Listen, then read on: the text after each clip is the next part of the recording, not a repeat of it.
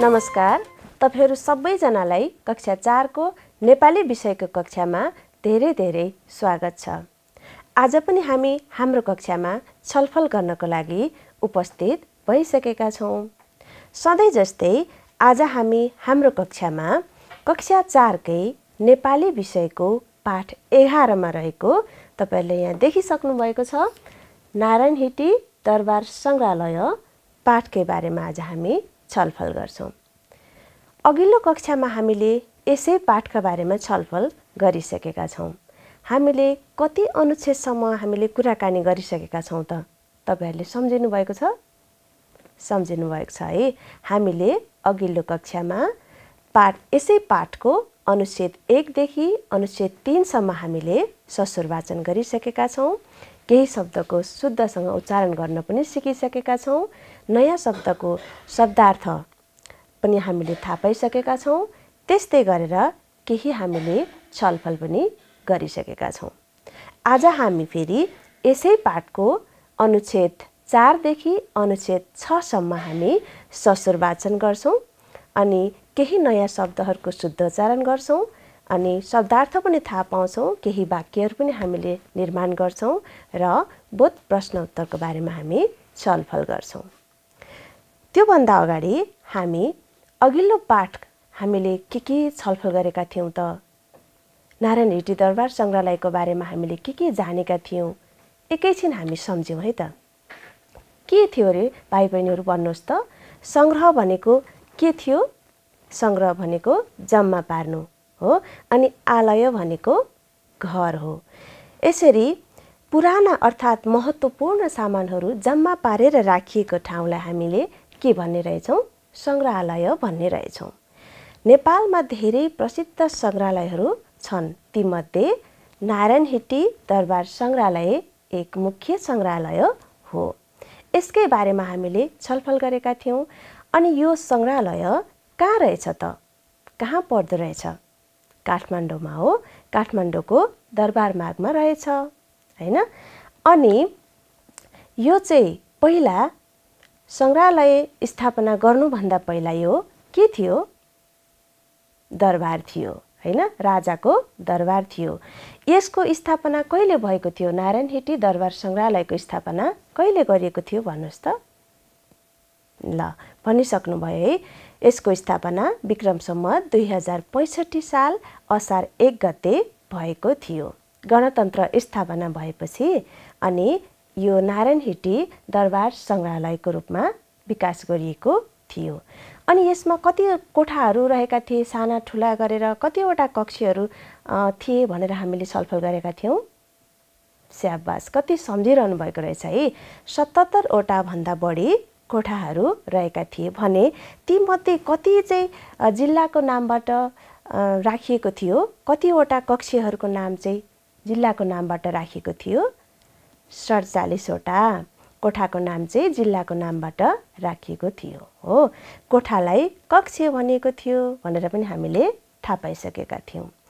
अनि हामी नारायण हिटी सङ्ग्रहालयमा प्रवेश गर्नुभन्दा अगाडि हामीले सिँढी उक्लनुपर्छ भन्ने कुरा पनि हामीले थाहा पाइसकेका छौँ हो? अनि सिँढी उक्लेपछि जुन हामी मूल ढोकाबाट छिर्छौँ नि प्रवेश गर्छौँ नारायण हिटी दरबार सङ्ग्रहालयभित्र त्यसलाई हामी के भन्ने रहेछौँ? त्यो प्रवेशद्वारको नाम के थियो? गौरी शङ्कर प्रवेशद्वार थियो। अनि त्यहाँबाट भित्र पसेपछि एउटा ठुलो बैठक कक्ष आउँछ भनेका थियौँ हो? हो। अनि त्यसलाई के नाम राखिएको थियो? त्यस कक्षको नाम के थियो? स्याबा सम्झिरहनु भएको रहेछ है। कास्की बैठक कक्ष राखिएको थियो। त्यो एकदमै के थियो? कास्की बैठक कक्ष कलात्मक थियो चित्रहरूले भरिएको थियो सजाइएको थियो होइन। अनि त्यहाँ विशेष गरेर के गर्ने गरिन्थ्यो? पहिले पहिले हो शपथ ग्रहणको आयोजना गर्ने गरिन्थ्यो अनि विदेशबाट आउने पाहुनाहरूलाई स्वागत गरिन्थ्यो अनि विभिन्न देशबाट नियुक्त भएर आउनुभएका मानिसहरूलाई के गरिन्थ्यो? शपथ ग्रहण गराइन्थ्यो। त्यस्तै गरेर विभिन्न देशबाट नियुक्त भएर आएका राजदूतहरूले आफ्नो ओहदाको अर्थात् आफ्नो दर्जाको पदको प्रमाणपत्रहरू पेस गर्ने ठाउँ रहेछ। अनि त्यसै कक्षबाट के भएको थियो त? तत्कालीन राजा ज्ञानेन्द्र शाहले चाहिँ अब मैले दरबार छाडेँ भनेर घोषणा पनि गर्नुभएको थियो। हो हामीले यहाँसम्म छलफल गरिसकेका छौँ। अब बाँकी कक्षीहरूमा के के गरिँदो रहेछ? कस्ता कस्ता रहेछन् त दरबार सङ्ग्रहालयभित्रका कक्षीहरू? त्यसका बारेमा हामी छलफल गरौँ है त? अब हामी यसै पाठको चौथो अनुच्छेद सँगसँगै फेरि ससुर वाचन गरौँ पहिले है त? कास्की कक्षबाट बायाँपट्टि जाँदा म्याग्दी पर्वत रुकुम कक्ष पुगिन्छ। त्यसपछि रोल्पा दैलेख बैतडी अछाम कक्ष देख्न पाइन्छ। त्यसै गरी बाजुरा र जुम्ला कक्षको पनि अवलोकन गर्न सकिन्छ। यी कक्षलाई विभिन्न तस्विर ससाना मूर्ति उपहार कुर्सी र टेबलले सजाइएको छ। शाहकालमा विदेशी राष्ट्र प्रमुख आउँदा दरबारमै बस्ने चलन थियो। विदेशी राष्ट्र प्रमुखले भेटघाट भोजन र आरामका लागि यी कक्ष प्रयोग गर्थे। हामीले सँगसँगै सबैले सुन्ने गरी ससुर वाचन गऱ्यौँ हामीले। अब के रहेछ त? कास्की कक्षबाट बायाँपट्टि जाँदा कुन कुन कक्षहरूमा पुगिँदो रहेछ? म्याग्दी कक्ष पर्वत कक्ष रुकुम कक्ष पुगिँदो रहेछ। त्यसपछि फेरि रोल्पा कक्ष दैलेख कक्ष बैतडी कक्ष अछाम कक्ष पनि देख्न पाइने रहेछ। त्यति मात्र होइन रहेछ। बाजुरा कक्ष जुम्ला कक्षको पनि अवलोकन गर्न पाइँदो रहेछ। हेर्नुहोस् त यो सबै कक्षीहरू चाहिँ जिल्लाको नामबाट राखिएको रहेछ होइन?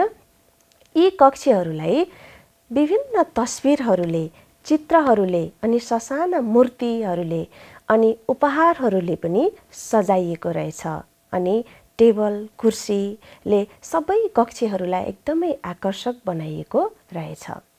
शाहकालमा विदेशी राष्ट्रप्रमुख आउँदाखेरि के गर्ने रहेछ त? दरबारमै बसाउने चलन रहेछ त्यहीँ बस्दा रहेछन् होइन?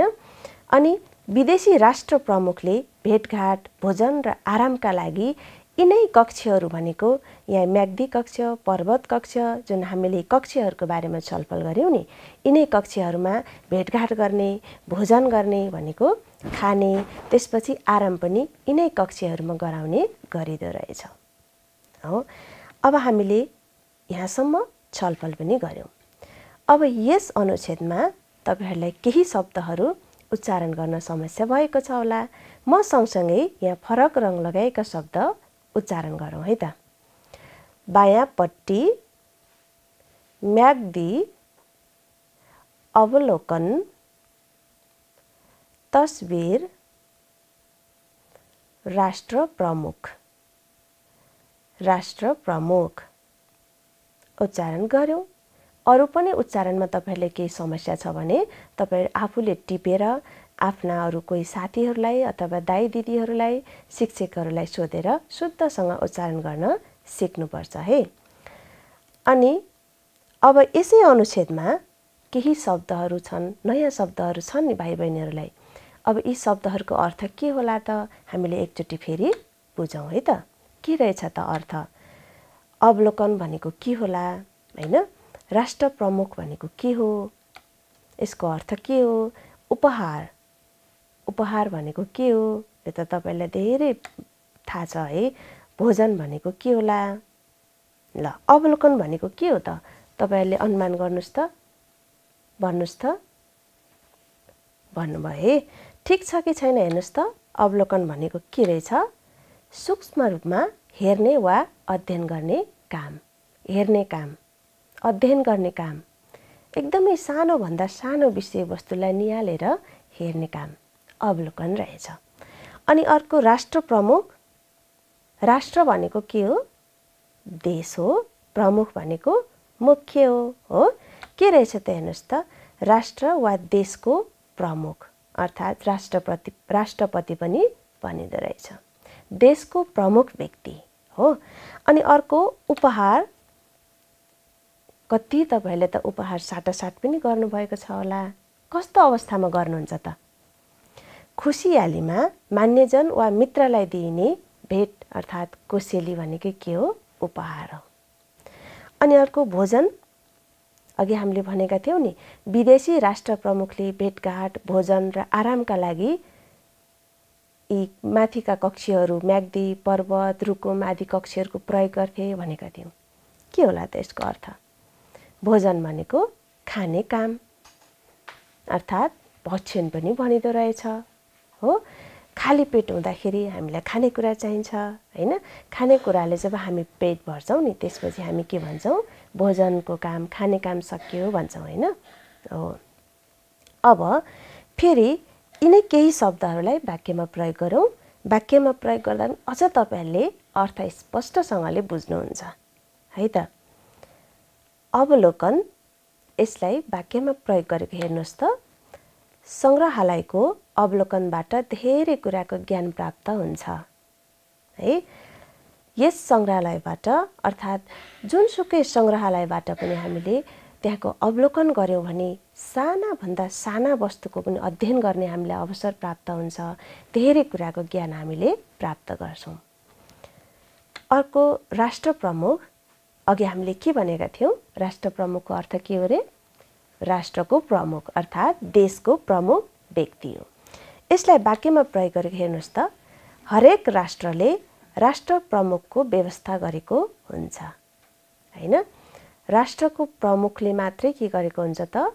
देशलाई चलाइरहेको हुन्छ। त्यसैले राष्ट्रले राष्ट्र प्रमुखको व्यवस्था गरेको हुन्छ। अर्को उपहार। यसलाई पनि वाक्यमा प्रयोग गरेको हेर्नुहोस् त। मैले साथीको जन्मदिनमा पुस्तक उपहार दिएँ। खुसियालीमा दिइने उपहार अर्थात् कोसेली भनेर भनेका थियौँ अघि हामीले होइन? अब अहिलेसम्म हामीले यसै पाठको चौथो अनुच्छेदका बारेमा छलफल गऱ्यौँ। तपाईँहरूले कतिको बुझ्नुभयो कतिको ध्यान दिएर सुन्नुभयो त? म तपाईँहरूलाई केही प्रश्न सोध्छु है त? कास्की कक्षबाट बायाँपट्टि जाँदा कुन कुन कक्ष पुगिन्छ? कुन कुन कक्ष पुगिँदो रहेछ? ल भन्नुहोस् त। म्याग्दी कक्ष पर्वत कक्ष अरू कुन कुन कक्षमा पुगिँदो रहेछ? रुकुम कक्ष दैलेख कक्ष हो? आहा कति मजाले सम्झिरहनु भएको रहेछ है। हामी धेरैवटा कक्षमा पुग्ने रहेछौँ। कास्की कक्षबाट हामी बायाँपट्टि जाँदा जाँदा गएपछि म्याग्दी कक्ष पर्वत कक्ष रुकुम रोल्पा दैलेख बैतडी अछाम बाजुरा र जुम्ला कक्ष पुगिँदो रहेछ। हो? अब फेरि मलाई अर्को प्रश्नको उत्तर भन्नुहोस् त। म्याग्दी पर्वत रुकुम रोल्पा दैलेख कक्ष के गर्नका निम्ति प्रयोग गरिन्थ्यो? के का निम्ति प्रयोग गरिने रहेछ भनेका थियौँ हामीले। यो सङ्ग्रहालय बन्नुभन्दा पहिलाको कुरा हो नि त यो होइन? त्यतिखेर हो तपाईँहरूले सम्झिरहनु भएको रहेछ है। यो कक्ष चाहिँ विदेशी राष्ट्र प्रमुखले भेटघाट गर्ने कक्ष भोजन गर्ने कक्ष अनि आराम गर्ने कक्षका रूपमा प्रयोग गरिँदो रहेछ। स्याबास यस्तै ध्यान दिएर सुन्नुपर्छ है। अब फेरि हामी यसै पाठको अर्को अनुच्छेद पाँचौँ अनुच्छेद फेरि अघिको जस्तै म सँगसँगै ससुर वाचन गरौँ। सबैले सुन्ने गरी अनि हामीले यहाँलाई कहाँनिर हामीले रोकेर गर्ने अलिकति रोकिएर चाहिँ हामीले पढ्ने चिन्हहरूलाई यहाँ प्रयोग गरेका चिन्हहरूलाई ख्याल गरेर पढ्ने त्यो हामीले पढ्नुपर्छ जान्नुपर्छ। सँगसँगै म सँगसँगै पढ्दै जाउँ है त। जुम्ला कक्षबाट भर्याङ उक्लिएपछि डोल्पा र तनहु कक्ष हुँदै गोर्खा कक्ष पुगिन्छ। यस कक्षलाई नारायण हिटी सङ्ग्रहालयको मुख्य आकर्षण मानिन्छ। यस कक्षको छाना प्यागोडा शैलीमा निर्माण गरिएको छ। यसको मुख्य आकर्षण राज सिंहासन हो। राज सिंहासनमा सुन र चाँदीको प्रयोग गरिएको छ। यसको निर्माण नेपाली कालीगढद्वारा गरिएको हो। गोर्खा कक्षमा चारवटा अग्ला अग्ला स्तम्भ समेत रहेका छन्। स्तम्भका माथिल्ला भागमा शक्तिकी देवी अष्टमातृका र अष्टभैरवका आकृति कोरिएका छन्। यस कक्षलाई अडचालिस फिट अग्लो झुम्मरले सजाइएको छ। दुई हजार सडचालिस सालको संविधान यसै कक्षबाट घोषणा गरिएको थियो। यस कक्षमा सुशोभन समारोह युवराज घोषणा जस्ता कार्यक्रम गरिन्थे। आहा कति रमाइलो रहेछ त। है? अब एकैछिन यस अनुच्छेदका बारेमा छलफल गरौँ है? अब जुम्ला कक्षसम्म हामी पुगिसकेका थियौँ। त्यहाँबाट फेरि भर्याङ उक्लिएपछि भनेको जुम्ला कक्षबाट हामी भर्याङ उक्लिएपछि डोल्पा र तनहु कक्ष हुँदै गोर्खा कक्षमा पुगिँदो रहेछ। अनि यस कक्षलाई चाहिँ नारायण हिट्टी सङ्ग्रहालयकै एउटा आकर्षण कक्ष अर्थात् मुख्य आकर्षकका रूपमा मानिँदो रहेछ। यो कक्ष भनेको यस गोर्खा कक्षको छाना चाहिँ कस्तो रहेछ त? प्यागोडा शैलीमा निर्माण गरिएको रहेछ हो? अनि यसको मुख्य आकर्षण राज सिंहासन हो। भनेको राजा बस्ने ठाउँ हो। राज सिंहासनमा सुन र चाँदीको प्रयोग गरिएको छ। जुन राजा बस्ने ठाउँ बनाइएको छ गद्दी त्यहाँ त्यो चाहिँ सुन र चाँदीको बनाइएको रहेछ। त्यसको प्रयोग गरेर सिंहासन बनाइएको रहेछ। अनि यसको निर्माण चाहिँ नेपाली कालीगढद्वारा नै गरिएको रहेछ। नेपालमा हस्तकला सम्बन्धी काम गर्ने धेरै व्यक्तिहरू छन्।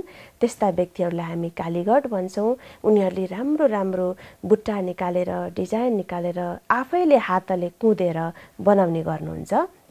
उहाँहरूद्वारा नै यस राज सिंहासन बनाइएको रहेछ। अनि यस गोर्खा कक्षमा चारवटा अग्ला अग्ला स्तम्भ रहेका छन्। होइन? अनि स्तम्भका माथिल्ला भागमा शक्तिकी देवी अष्टमात्रिका भनेको माथि स्तम्भ यता छेउछेउमा चाहिँ एउटा खम्बा भनौँ न खम्बा चाहिँ रहेछन् चारवटा।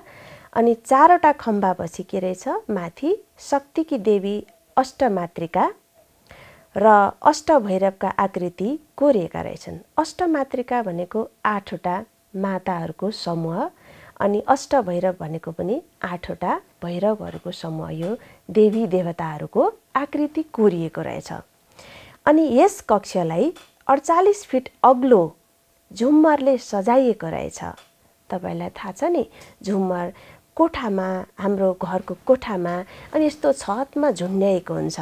त्यो काँचद्वारा निर्माण गरिएको सिसाद्वारा निर्माण गरिएको हुन्छ झुन्ड्याएको हुन्छ। त्यसले कोठालाई कति सुन्दर बनाएको हुन्छ नि। यस गोर्खा कक्षमा पनि अडचालिस फिट अग्लो हेर्नुहोस् त कति अग्लो रहेछ। यो अडचालिस फिट अग्लो झुमरले सजाइएको रहेछ र यसै गोर्खा कक्षबाट दुई हजार सडचालिस सालको संविधान घोषणा गरिएको रहेछ। सबैलाई चाहिँ सार्वजनिक गरिएको रहेछ। यस कक्षमा सुशोभन समारोह भनेको अति राम्रा राम्रा कार्यहरू अनि युवराज घोषणा गर्ने काम कार्यक्रमहरू यस गोर्खा कक्षबाट गरिँदो रहेछ। हेर्नुहोस् त कति धेरै कामहरू यस गोर्खा कक्षबाट गरिँदो रहेछ।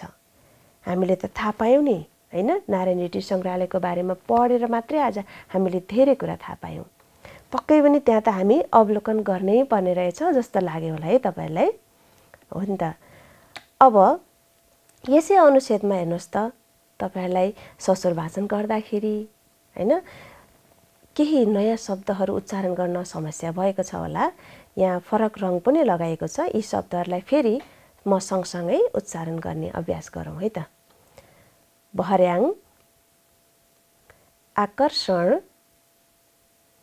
आकर्षण प्यागोडा शैली राज सिंहासन कालीगढद्वारा कालीगढद्वारा स्तम्भ अष्टमातृका अष्टभैरव झुम्मर संविधान घोषणा सुशोभन। सुशोभन हो हामीले उच्चारण त गऱ्यौँ। अब फेरि तपाईँहरूलाई केही शब्दहरूको अर्थ पनि थाहा छैन होला। होइन? कति त थाहा छ। अब यी केही नयाँ शब्दहरूको अर्थ पनि हामीले जानौँ है। के के शब्दहरू छन् हेर्नुहोस् त। आकर्षण प्यागोडा शैली राज सिंहासन कालीगढ। के होला त? आकर्षण भनेको के हो त? गोर्खा कक्ष के को लागि आकर्षक थियो? किन आकर्षक कक्ष मानिएको थियो? हामीले छलफल गरिसकेका छौँ। यसको अर्थ हेर्नुहोस् त आफूतिर तान्ने काम। गोर्खा कक्ष चाहिँ हेर्नै पर्छ त्यहाँ जानै पर्छ। त्यो राज सिंहासन कसरी बनाएको रहेछ भनेर सबैलाई चाहिँ जान्ने इच्छा हुन्छ नि हेर्न मन हुन्छ नि भनेको जुन कुरा देख्दाखेरि जुन वस्तु देख्दाखेरि हामीलाई हेरौँ हेरौँ लाग्छ आफ्नो मन त्यतैतिर तानिन्छ त्यस्तो चाहिँ के हो त? आकर्षक हो होइन? अर्को प्यागोडा शैली भनेको कस्तो खालको निर्माण शैली होला त हेरौँ त। तलै पछि पाली निकालिने एक प्रकारको निर्माण शैली हो। गोर्खा कक्षको छाना कस्तो थियो? प्यागोडा शैलीमा निर्माण गरिएको थियो। तपाईँहरूले कति घरहरू देख्नुभएको छ होला? तला तला अर्थात् पाली निकालेर बनाइएको हुन्छ। त्यो चाहिँ प्यागोडा शैलीको रहेछ भन्ने हामीले बुझ्न पर्यो। अनि अर्को राज सिंहासन यसको अर्थ के हो? राजा बस्ने आसन अर्थात् गद्दी पनि भनिन्छ। अनि कालीगढ भनेको के रहेछ? हस्तकलाको काम गर्ने व्यक्ति जसलाई हामी कारिगर पनि भन्ने गर्दा रहेछौँ।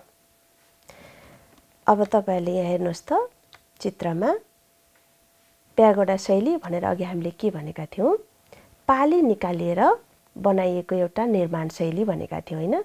यहाँ देख्नुभयो नि तपाईँहरूले छत जस्तो यस्तो माथि एक तला दुई तला हुँदै थपिँदै बनाइएको छ। अर्को हेर्नुहोस् त यहाँ पनि त्यस्तै छ। यो एक तला जस्तो देखिया छ यहाँ अर्को पनि छ। अनि अर्को चित्र हेर्नुहोस् त। यसमा पाली यस्तो यो अगाडिको चित्रको जस्तो यसमा पाली छ कि छैन? छैन है। यो फरक हो यो दुईवटा चित्रहरू चाहिँ प्यागोडा शैलीमा निर्माण गरिएका मन्दिरहरू हुन्। यो चाहिँ चुच्चो परेको छ यसको माथिको भाग। यो चाहिँ शिखर शैलीमा निर्माण गरिएको छ। अब फेरि हामी अघिकै अनुच्छेदमा केही नयाँ शब्दहरू अझै छन् तपाईँहरूलाई। तिनै नयाँ शब्दहरूको अर्थ थाहा पाऊँ है त। स्तम्भ अष्टमातृका अष्टभैरव झुम्मर के हो त? यिनीहरूको अर्थ स्तम्भ भनेको के हो? घर वा भवनको खामो। खामो अर्थात् खम्बा वा थाम पनि भन्ने गरिन्छ। घर त त्यत्तिकै अडिँदैन बलियो हुँदैन होइन? हामीले खम्बा राख्नुपर्छ अथवा थाम बनाइन्छ त्यसैलाई हामी स्तम्भ भन्छौँ। अर्को अष्टमातृका भनेको आठ मातृका देवी अर्थात् आठ माताहरूको शक्ति वा समूह नै अष्टमातृका हो। देवीहरूको शक्ति अर्थात् समूह हो। अब यहाँ अर्को हेर्नुहोस् त अष्टभैरव। आठ भैरवहरूको समूह यहाँ चित्रमा पनि तपाईँहरूले देखिसक्नुभयो। भैरव भनेको एउटा शिवको एउटा गण हो। यहाँ आठवटा भैरवहरूको समूह भनेकै अष्टभैरव हो। हो। अर्को हेर्नुहोस् त झुम्मर। झुम्मर भनेको अघि हामीले छलफल गरिसकेका छौँ। कोठा सजाउन सिलिङमा झुन्ड्याएर राखिने काँचबाट निर्मित वस्तु। त्यस्तो छतमा झुन्ड्याएर राखिन्छ। त्यसले कोठाको आकर्षक बढाउँछ अनि सिसाबाट निर्मित गरिएको हुन्छ। अब हामीले यस अनुच्छेदका केही शब्दहरूको पनि अर्थ थाहा पायौँ। अझ यसलाई हामीले केही शब्दलाई वाक्यमा प्रयोग गरेर पनि हेरौँ है त। आकर्षण। आकर्षण भनेको अघि हामीले के भनेका थियौँ? आफूतिर तान्ने काम आकर्षक बनाउनु भनेको थियो होइन। यसलाई वाक्यमा प्रयोग गरेर हेर्नुहोस् त। नारायण हिटी सङ्ग्रहालयका सबै कक्ष कलात्मक र आकर्षण छन् भनेको आकर्षक छन् भनेको होइन। अनि अर्को प्यागोडा शैली अघि हामीले कस्तो शैलीमा निर्माण गरिएको भनेर भनेका थियौँ प्यागोडा शैली। छत जस्तो पाराले एक तलामा अनि फेरि अर्को तलामा पाली बनाएर निर्माण गरेको शैली भनेर हामीले अर्थ छलफल गरिसकेका छौँ। यसलाई हेर्नुहोस् त वाक्यमा प्रयोग गरिएको नारायण हिटी सङ्ग्रहालयको गोर्खा कक्ष प्यागोडा शैलीमा निर्माण गरिएको रहेछ होइन? त्यस्तै अर्को कालीगढ। कालीगढको अर्थ हामीले के भनेका थियौँ त अघि? हस्तकला सम्बन्धी काम गर्ने व्यक्ति अर्थात् कारिगर पनि भनेर भनिने रहेछ भनेका थियौँ। अब हेर्नुहोस् त वाक्य नेपालमा धेरै कालीगढहरू छन्। यिनै नेपालमै भएका कालीगढहरूद्वारा राज सिंहासन निर्माण गरिएको रहेछ होइन? तपाईँहरूले अरू शब्दहरू राखेर पनि वाक्य बनाउन सक्नुहुन्छ है? त्यस्तै अर्को स्तम्भ हो। स्तम्भको भनेको के भनेको थियौँ हामीले? खम्बा अर्थात् थाम भनेका थियौँ होइन त? वाक्यमा प्रयोग गरेको हेर्नुहोस् त। गोर्खा कक्षमा अग्ला अग्ला स्तम्भ रहेका छन्। धेरै ठुला ठुला चारवटा स्तम्भहरू राखिएका छन् भनेर हामीले भनेका थियौँ। मैले अनुच्छेदकै आधारमा वाक्य बनाएकी छु नि। संविधान। संविधान भनेको के हो त? देशको मूल कानुन हो होइन? यही मूल कानुनद्वारा अरू कानुनहरू निर्माण गरिएको हुन्छ। यसलाई पनि मैले छोटो वाक्य बनाएको छु हेर्नुहोस् त। संविधान देशको मूल कानुन हो। अर्को शब्द हेर्नुहोस् त। सुशोभन सुशोभनको अर्थ के होला? अति राम्रो अर्थात् सुहाउँदो भनेको भन्ने हो। यी केही शब्दहरूको अर्थ तपाईँहरूकै पाठ्यपुस्तकको तल पनि दिएको छ। तपाईँले त्यहाँबाट पनि अरू थप अर्थहरू जान्न सक्नुहुनेछ। यसलाई वाक्यमा प्रयोग गरेको हेर्नुहोस् त।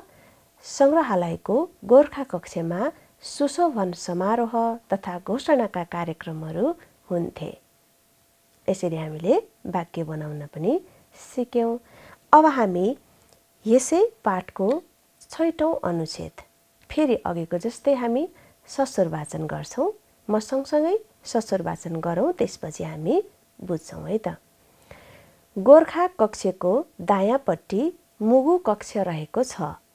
यस कक्षमा राजा त्रिभुवनले प्रयोग गरेका पुस्तक टेलिफोन कुर्सी टेबल आदि सजाएर राखिएको छ। मुगु कक्षबाट पुनः कास्की कक्षमा फर्किने गरी अवलोकनको व्यवस्था मिलाइएको छ। कास्की कक्ष फर्किँदा घुमाउरो भर्याङ हुँदै ओर्लनु पर्छ। भर्याङ ओर्लिने बित्तिकै लमजुङ कक्षको ढोकामा पुगिन्छ। यस कक्षमा राजकीय भोज आयोजना गर्दा प्रयोग गरिएका सामान राखिएका छन्। हामीले ससुर वाचन गऱ्यौँ अब फेरि हामीले यो अनुच्छेद एकछिन छलफल गरौँ है त। गोर्खा कक्षको फेरि हामी दायाँपट्टि जाँदाखेरि मुगु कक्ष आउँदो रहेछ। मुगु कक्ष पनि जिल्लाकै नामबाट राखिएको कक्ष रहेछ। यस कक्षमा राजा त्रिभुवनले प्रयोग गरेका पुस्तक राजा त्रिभुवनले के के पुस्तकहरू पढ्नुभएको थियो टेलिफोन उहाँले प्रयोग गर्नुभएको टेलिफोन उहाँ बस्नुभएको कुर्सीहरू अनि टेबल आदि चाहिँ उहाँले प्रयोग गरेका सामग्रीहरूलाई सजाइएर राखिएको रहेछ। अनि मोगु कक्षबाट पुनः भनेको फेरि कास्की कक्षमा फर्किने गरी अवलोकनको व्यवस्था मिलाइएको छ रहेछ। हामी पहिले त कास्की कक्षबाट हामी भित्र जानु पर्थ्यो। नारायणी भित्र प्रवेश गर्दै गर्दै हामी विभिन्न कक्षहरूमा पुगेका थियौँ। फेरि यहाँ मुगु कक्षमा पुगेपछि हामी फेरि कास्की कक्षमा फर्किने व्यवस्था पनि रहेछ। अनि कास कास्की कक्ष फर्किँदा घुमाउरो भर्याङ हुँदै ओर्लनु पर्दो रहेछ। त्यहाँबाट फेरि फर्किने गर्दा चाहिँ भर्याङ ओर्लिनु पर्दो रहेछ भनेको घुमेको भर्याङ रहेछ अनि ओर्लिनु पर्दो रहेछ। भर्याङ ओर्लिने बित्तिकै लङजुङ कक्षको ढोकामा पुगिँदो रहेछ। हामीले लङजुङ कक्ष पनि फेरि अर्को कक्ष त्यहाँ पुगिँदो रहेछ। यस कक्षमा के गरिँदो रहेछ त? राजकीय भोज आयोजना गर्दा भनेको राज खानदानका मानिसहरूले विभिन्न खुसियालीमा अथवा चाडबाडमा पर्वहरूमा भोजको आयोजना गर्दाखेरि चाहिँ प्रयोग गरिएका सामानहरू राखिएको रहेछ। हामीले अब बुझ्यौँ। होइन? अब यस अनुच्छेदमा पनि तपाईँलाई केही शब्दहरू उच्चारण गर्न समस्या भएको छ होला ती शब्दहरूको उच्चारण गरौँ है त। दायाँपट्टि त्रिभुवन फर्किँदा फर्किँदा राजकीय राजकीय हो? मलाई लाग्छ तपाईँहरूलाई यस अनुच्छेदमा केही नयाँ शब्दहरू छन् तिनीहरूको अर्थ थाहा छैन कि थाहा पाउनु भएको छैन कि जस्तो चाहिँ मलाई लागेको छैन। त्यसैले म मैले यहाँ शब्दहरू तिनीहरूको अर्थ राखेको छैन। यदि तपाईँलाई केही नयाँ शब्दहरू तिनीहरूको अर्थ तपाईँहरूलाई थाहा छैन भने शब्दहरू टिपेर तपाईँहरूले आफ्ना शिक्षक तथा दाई दिदी अभिभावकहरूसँग पनि जान्न सक्नुहुनेछ है त? अब यो पाँचौँ अनुच्छेद र छैटौँ अनुच्छेदबाट म केही प्रश्नहरू सोध्छु। तपाईँले ती प्रश्नको उत्तर भन्नुपर्छ है त। गोर्खा कक्षको छाना कुन शैलीमा निर्माण गरिएको छ? कुन शैलीमा निर्माण गरिएको थियो त? गोर्खा कक्षको छाना? सम्झिनु भएको रहेछ हो। गोर्खा कक्षको छाना प्यागोडा शैलीमा निर्माण गरिएको छ। प्यागोडा शैलीमा निर्माण गरिएको थियो होइन? त्यस्तै अर्को प्रश्नको उत्तर भन्नुहोस् त। गोर्खा कक्षको मुख्य आकर्षण के हो? किन गोर्खा कक्षलाई नारायण हिटी दरबार सङ्ग्रहालयको एउटा आकर्षक कक्ष मानिएको थियो त? ल तपाईँहरूले त भनिसक्नुभयो गोर्खा कक्षको मुख्य आकर्षण के रहेछ? राज सिंहासन रहेछ। त्यहाँ राजाहरू बस्ने गर्दा रहेछन्। राजा बस्ने गद्दी राज सिंहासन त्यही गोर्खा कक्षमा रहेछ त्यसैले मुख्य आकर्षक मानिएको रहेछ। अनि अर्को दुई हजार सडचालिस सालको संविधान कुन कक्षबाट घोषणा गरिएको थियो? मुगु कक्ष जुम्ला कक्ष अथवा कुन कक्षबाट गरिएको थियो? ल तपाईँले यो पनि सम्झिनु भएको रहेछ हो। दुई हजार सडचालिस सालको संविधान गोर्खा कक्षबाट घोषणा गरिएको थियो। त्यस्तै अर्को प्रश्नको उत्तर भन्नुहोस् त। कुन कक्षमा राजा त्रिभुवनले प्रयोग गरेका पुस्तक टेलिफोन कुर्सी टेबल आदि सजाएर राखिएको छ? कुन कक्षमा होला? रुकुम कक्ष गोर्खा कक्ष दैलेख कक्ष हामीले धेरै कक्षहरू पढ्यौँ। हो? कुन कक्षमा होला त? ल तपाईँहरूले सम्झिनुभयो। गोर्खा कक्षको दायाँपट्टिको मुगु कक्षमा चाहिँ राजा त्रिभुवनले प्रयोग गरेका पुस्तक टेलिफोन कुर्सी टेबल आदि सजाएर राखिएको छ। भनेको मुगु कक्षमा चाहिँ यस्ता सामग्रीहरू राखिएको रहेछ जुन सामग्रीहरू राजा त्रिभुवनले प्रयोग गरेका रहेछन्। अब अर्को प्रश्नको उत्तर भन्नुहोस् त कुन कक्षमा राजकीय भोज आयोजना गर्दा प्रयोग गरेका सामान राखिएका छन्? कुन कक्षमा राखिएको थियो? भोज भतेर भोजका आयोजनाहरू कार्यक्रमहरू गर्दाखेरि प्रयोग गरिने सामग्रीहरूलाई सजाइएर राखिएको रहेछ त। ल तपाईँहरूले भनेको उत्तर ठिक भयो कि भएन हेर्नुहोस् त। लमजुङ कक्षमा राजकीय भोज आयोजना गर्दा प्रयोग गरेका सामान राखिएका छन्। ल तपाईँहरू सबैजनाले एकदमै ध्यान दिएर सुन्नुभएको रहेछ र बुझ्नु पनि भएको रहेछ। आज हामीले हाम्रो कक्षामा अनुच्छेद चार पाँच छ ससुर वाचन गऱ्यौँ र यी अनुच्छेदका बारेमा हामीले छलफल गऱ्यौँ यी अनुच्छेदमा प्रयोग भएका केही शब्दहरूको हामीले शुद्धसँग उच्चारण गर्न पनि सिक्यौँ। केही नयाँ शब्दहरूको हामीले अर्थ पनि थाहा पायौँ। केही नयाँ शब्दहरूलाई हामीले वाक्यमा प्रयोग गर्न पनि सिक्यौँ। त्यस्तै मैले सोधेका प्रश्नको उत्तरहरू तपाईँले बुझेर सजिलैसँगले मलाई उत्तर पनि दिनुभयो। यिनै कुराहरू आजको कक्षामा छलफल गऱ्यौँ अब फेरि हाम्रो भेट अर्को कक्षामा हुने नै छ।